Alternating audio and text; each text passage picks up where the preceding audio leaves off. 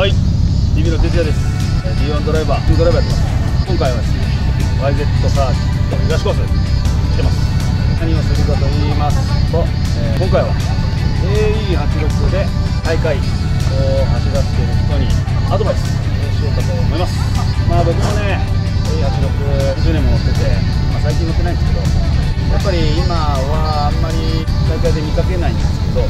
A86 だけの大会っていうのもなんか始まったみたいなのでまた改めて A86 で YZ 東コースを走るアドバイスしたいと思いますで東コースの審査席っていうのは大体ここで見ます。なのでストレートの始まりから全てのコーナーは見えます。なので乾燥の場合は本当にあのアクセルの音だったり全部聞こえるので一生懸命走らせた方がいい。でここはインコースとアウトコースの2種類あるんで今回はとりあえずインコースから。まあ車速どうだろうな。120130早くの140150出ると思うんですけど、まあ、ほぼほぼ90度に近い感じで進入します。入れ角ある車であれば多分欠進入みたいな進入ができると思います。だからこの1コーナー入った後の2コーナーもすごく、えー、きついコーナーになっているから流されたらアウトなんですよね。で流されないようにスピードコントロールをする。すごいこれ大事。でクリップを外すっていうこともすごくマイナスになるのでそこも気をつけてますで2コーナーの入りなんですけどここにゼブラがある。ここにリアのタイヤを乗せるイメージで繰り返しをすると2コーナーのこのクリップちゃんと取れると。でそこで気をつけるポイントっていうのが1コーナーを旋回してもすぐに繰り返すっていうイメージじゃないと絶対にここまあ流れてしまう。のでそこら辺をもう自分で車速コントロールしながらアウトいっぱいにケツを持っていくつもりで早めに繰り返すここがポイントですでここがうまくいけばあと34コーナーをもう1つの R としてつなぐっていう部分になるだけなので。ここの車速があればすごく楽です。ここでつまずいちゃうとこうでスピードは上げれないのでちょっとこう小さくなったりとか、まあ、サイド引いたりとか。でやっぱりこの1つの R になりにくくなっちゃう。のでそこだけまあ注意。ですねやっぱりここの入り方がすごく重要です気をつけましょう。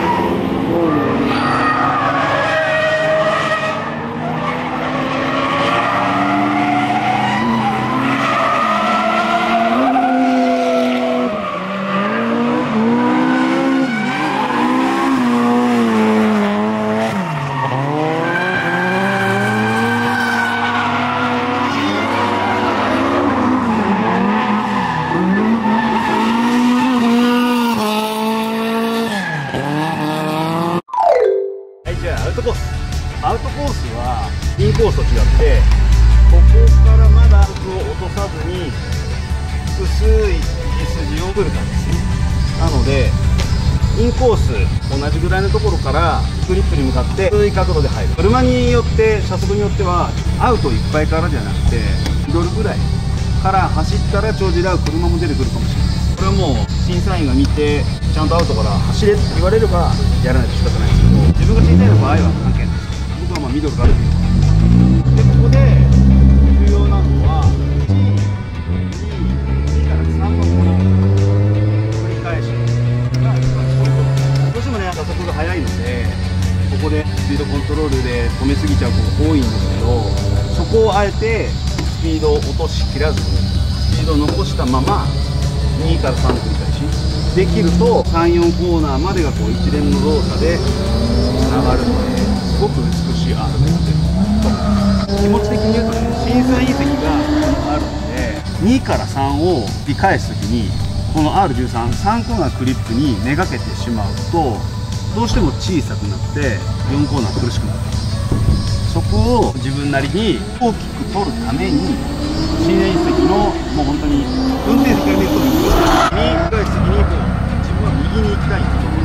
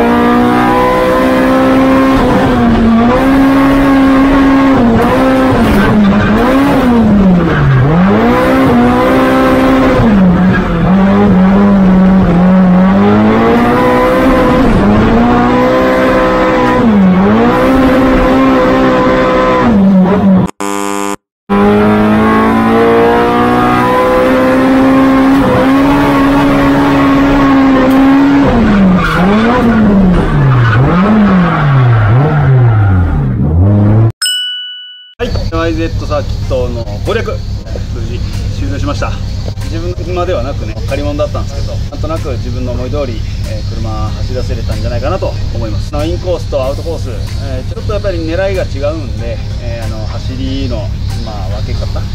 狙い方っていうのをねちょっと自分なりに考えてもらってですね。まあパワーだったりギア比だったりリップ力だったり、まあ、違うところがあると思うんでその辺はあのちょっとね自分の動画をまあ参考にしてそれとまあ比較させてもらって自分でまあ本当に乗りやすいポイントを見つけてもらえればしっかり点数を取れるんじゃないかなと走りになるんじゃないかなと思います、まあ、今回この晴れの感じなんでまたタイミングがあれば雨のもう、ね、動画撮れればいいかなと思ってます。今後も僕の生きること伝えることだったり時代を見せることだったりどんどん続けていきたいと思いますんで今後ともよろしくお願いします。今日は一日ありがとうございました。